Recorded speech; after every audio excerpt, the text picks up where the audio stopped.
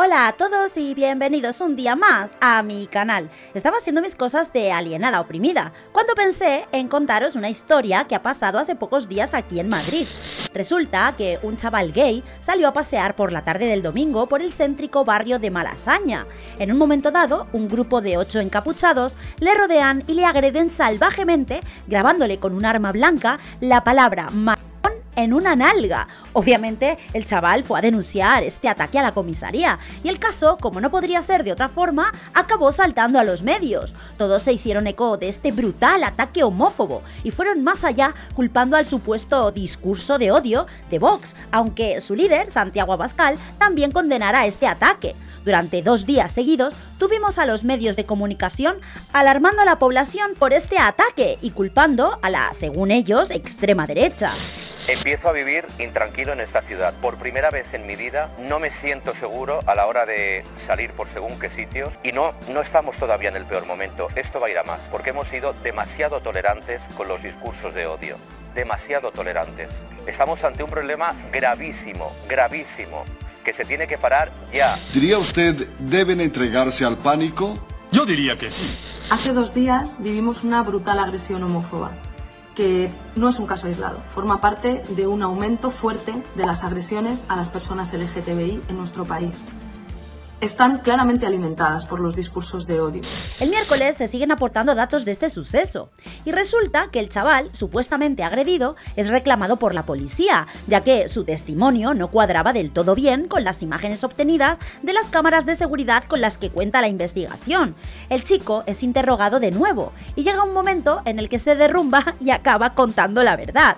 Atención al plot twist. Al parecer, el muchacho quería ocultar una infidelidad a su pareja y las heridas en su nalga fueron consentidas, fruto de algún tipo de práctica asado. El chico llegaría a su casa después de haber engañado a su pareja y con la palabra maricón en la nalga y se inventaría toda esta historia para que su pareja no sospechara. Pero claro, su pareja, preocupado, le recomendó varias veces el ir a denunciar y él, comprometido, tuvo que hacerlo, claro. Pero las mentiras tienen las patas cortas y ahora toda la prensa que alarmó al público pues no sabe dónde meterse. Quien diga, ¿veis? Era una denuncia falsa. ¿Cómo sabemos que las demás agresiones son de verdad? Pues son de verdad. Grábales las caras, las caras.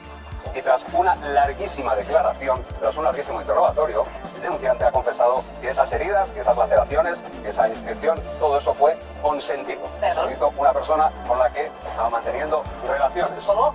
Consentido.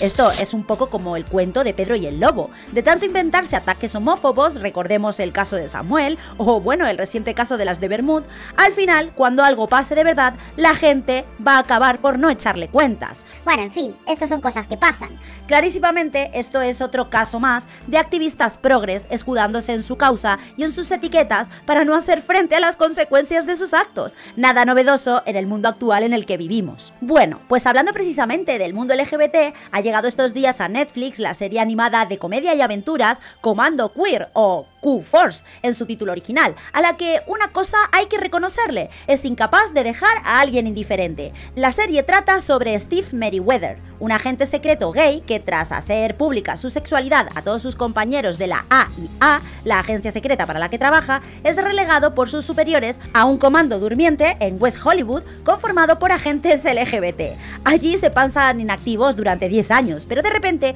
un día deciden coger el toro por los cuernos y hacerse cargo por la fuerza de una misión que acabará llevándoles a salvar el mundo. Como lo oís, no me estoy inventando nada. El equipo está encabezado por el protagonista Steve como líder y también cuenta con Deb, una mujer negra lesbiana experta en mecánica y de armas tomar que actúa como la voz de la razón. Yogurin, un gay afeminado y amanerado que también es drag queen y es experto en disfraces, camuflaje e infiltración. Y Stat, una hacker ultra experta que a pesar de que es tratada como una mujer, su aspecto y comportamiento hace alusión a la gente de género fluido.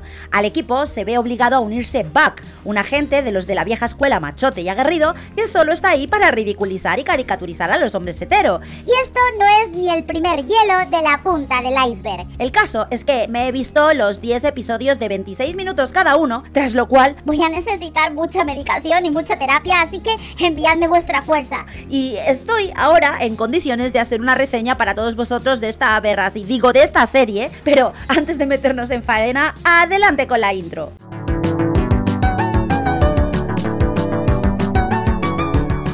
Es evidente que esta serie es uno de los productos más progres y más woke que se nos ha brindado hasta la fecha. Es basura, es basura, es basura.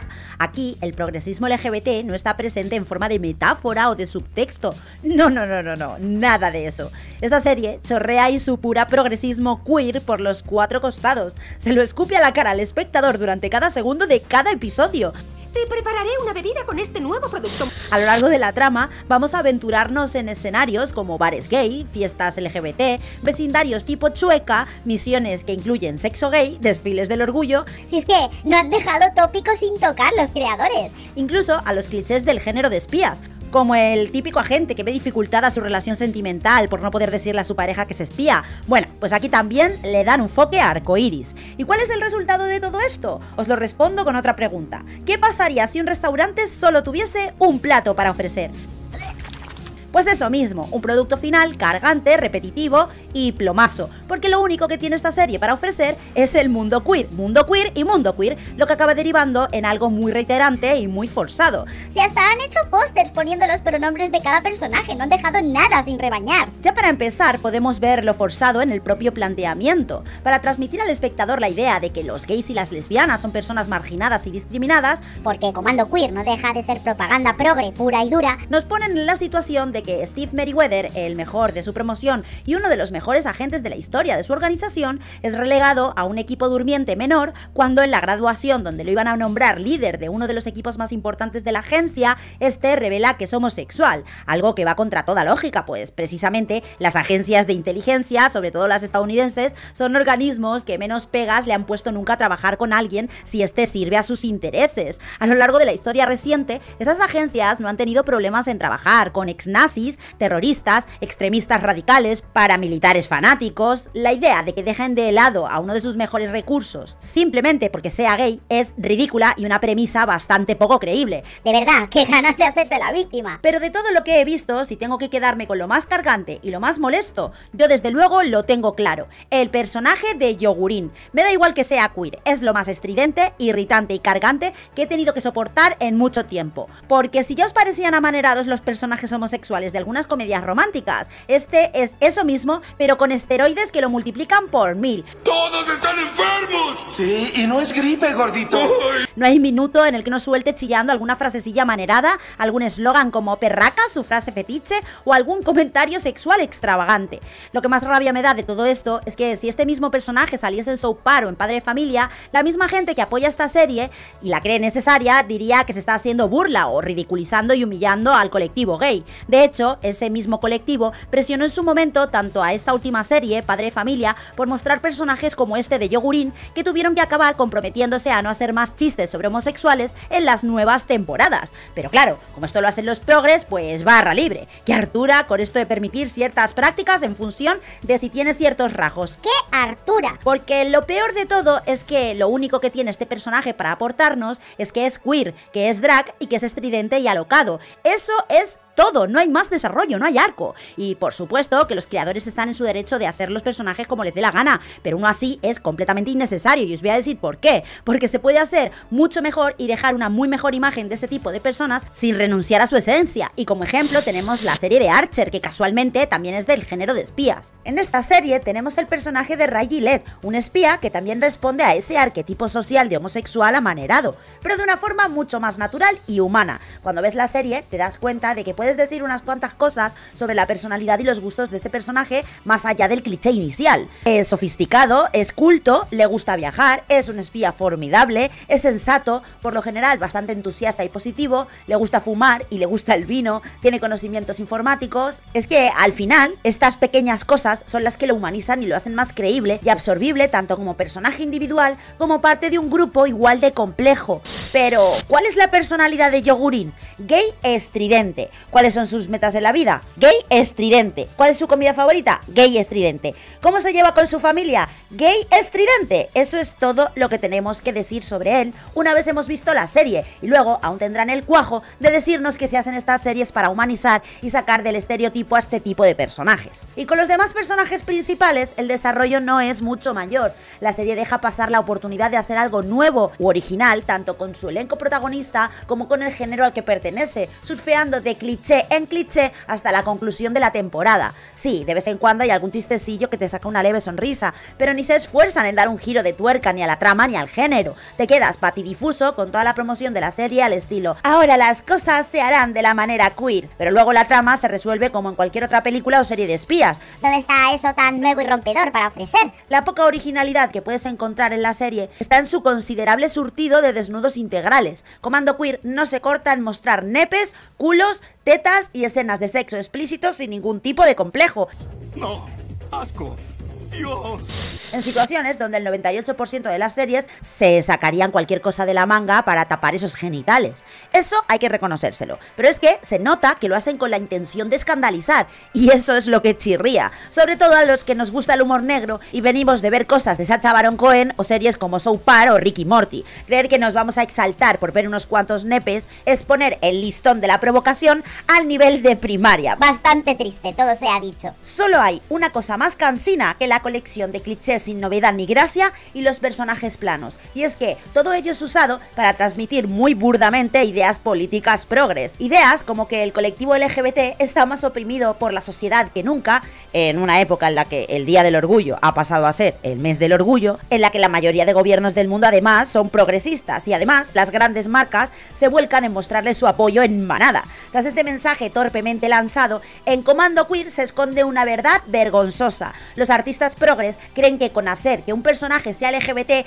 ya está todo el proceso hecho, que si lo haces de un colectivo minoritario no tienes que esforzarte en hacer algo interesante con él. Puedes ir en piloto automático. Si los espectadores progres fuesen coherentes, verían en reducir algo tan complejo como una persona homosexual a su pura identidad sexual una verdadera ofensa y no en hacer chistes con la homosexualidad. Bueno, es que si los progres fuesen coherentes muchas cosas serían distintas. Eso sí, si de todas formas esto que os he dicho nos ha disuadido y aún queréis ver esta serie, haceros un favor y vedla en versión original. Sabéis que no tengo nada en contra del doblaje y de hecho lo defiendo como la que más, pero es que nuestro doblaje cuenta con algo que el original en inglés no, lenguaje inclusivo. Así es, la pesadilla vuelve al acecho. Y no creáis que lo usan de forma irónica o como recurso cómico, nada de eso. Aquí se nos dicen, con total seriedad y convicción, términos como mis amigues o les compañeres. No soy tu compañera, soy tu compañere. Manda narices que la poca comedia que funciona en esta serie sea involuntaria. Y sigo pensando lo mismo que llevo diciendo sobre esta moda, llamemos a las cosas por su nombre, que es un lenguaje completamente innecesario. Porque, por ejemplo, en vez de decir mis amigues, es tan sencillo como decir mis amistades. Junto con esto, también está el personaje de la gente Buck, que está ahí solo para que el público no progre entendamos cómo ve esta peña a los hombres heterosexuales. Bravucón, enervante, grosero, safio, follonero, cretino, mal hablado. Ay, creo que le habla a usted. Esta clase de cosas no dejan de ser material que a los Social Justice Warriors con acceso a Netflix les puede parecer muy edgy y muy interesante, pero al resto de mortales nos deja como estábamos, ni frío ni calor. Y se supone que una serie inclusiva debería ser para todo el mundo, ¿no? Además, es que me hace muchísima gracia como creen que han descubierto la pólvora o algo, caricaturizando a un hombre blanco heterosexual, como si Homer Simpson o Peter Griffin no fueran ya una parodia de eso. En definitiva, Comando Queer es una fachada estridente sin una construcción detrás, puro telón que solo da paso a un festival del cliché predecible y que solo existe para que la gente muy progre y mucho progre aplaudan fascinados. Progres haciendo producciones para que solo la vean los progres. Esto ya aparece en los Oscars. De verdad, después de haberla visto, ojalá hubiese sido tan provocadora como prometían, porque al menos así me habría generado alguna impresión importante que no fuesen molestia y hastío, o que al menos hubiera tenido los niveles de acción que prometían en el teaser y el tráiler, porque es que incluso eso queda en el producto final tan diluido como un azucarillo en una bañera, dándole preferencia a los estereotipos progres, voceando entre sí referencias Social Justice Warriors. Y si tuviese que destacar algo bueno por narices, diría que la música de la serie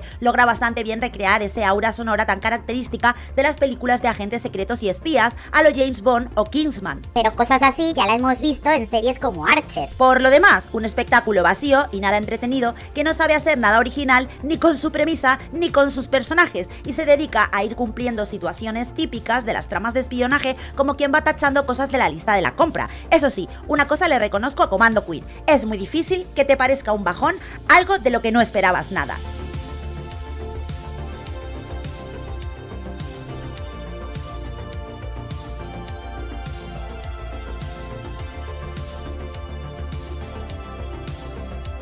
Y esto ha sido todo por el vídeo de hoy. Si te ha gustado, dale a like, comenta, comparte y todas estas cosas. No olvides seguirme en mis redes sociales o si tienes alguna sugerencia, escríbeme a mi correo.